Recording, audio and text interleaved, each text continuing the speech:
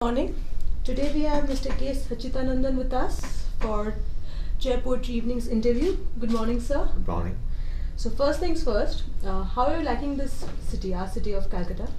Yeah, I've been here uh, quite a few times, Okay. and uh, well, I'm in love with that, especially certain parts of Calcutta, uh, because having been a colonial capital, I think it has a special kind of character with uh, various kinds of old bungalows and the and and those uh, streets and markets and various kinds of colonial buildings and golf clubs and uh, you know all those. So some of the remains of colonialism.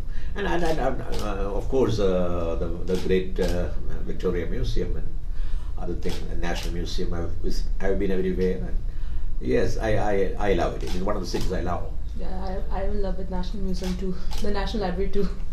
yeah indeed. So- So, yes definitely yes so sh- we'll starting off with the questions and um, why do you think poetry readings and poetry festivals are essential? Why do you think poetry readings and poetry festivals are essential?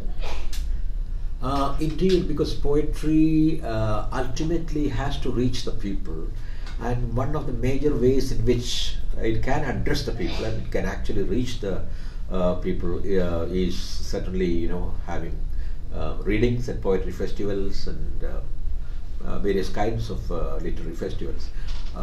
Because, of course, there are people who buy books of poetry and read, uh, but uh, compared to the people who would love to listen to poetry, uh, they are much less. You know, the number of books we sell and the number of people who come to listen to us, there's a kind of mighty disproportion between them. So uh, th- that's I think that that makes readings extremely important and relevant. Yes.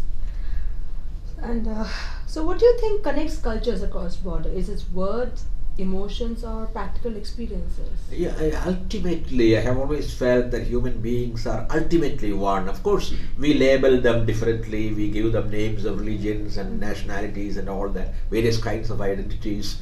But I believe that uh, basic human emotions are the same, and that's exactly uh, where poetry comes in. Because what we try to do, uh, even even though poetry has its specificities, you know, the language and, um, um, and the region, all these influence you. In spite of that, there is at the heart of poetry, at the core of poetry, something that appeals to every human being because it speaks about love, it speaks about uh, uh, various uh, pains, agonies, anxieties, and also the pleasures indeed of life. And that, I think, is common to the whole human race. basic human emotions. Yeah, basic emotions, yes. Um, moving to the next question. Do you conceive a poem or does poetry happen to you? Uh, well, uh, in, in most cases, it just comes to me.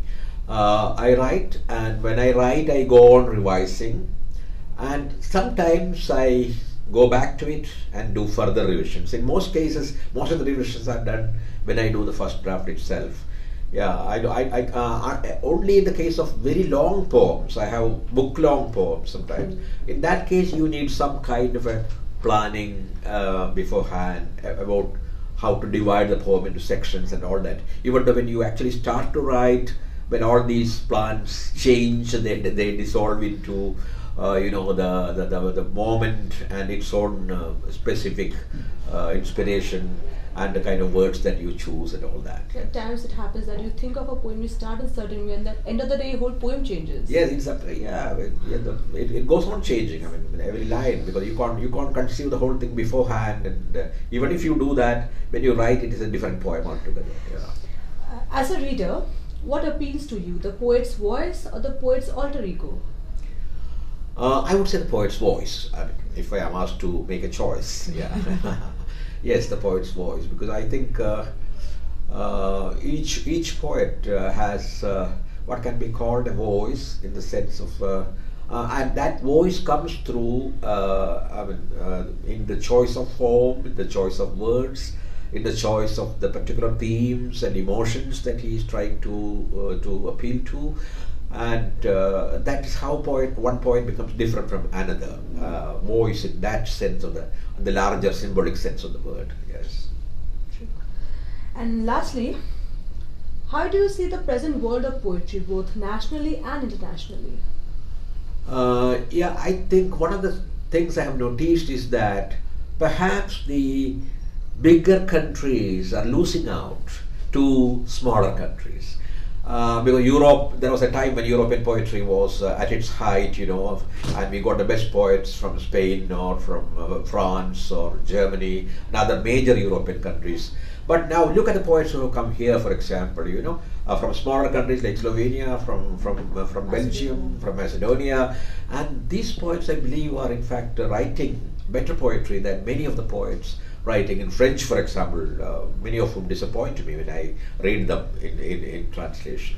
So that is one major thing. The, the periphery is taking over the center uh, in, in one sense, and the smaller countries are coming up. And I think that is very symbolic of what, what should happen in the world too, that small people begin to take over. And uh, uh, this is perhaps the beginning. So it's a very symbolic. It's very symbolic of it. Yeah, yeah. So thank you, sir. Thank you. Thank you so much. I'm amazed and I learned so much. And thank you for your time. Thank you. Thank you.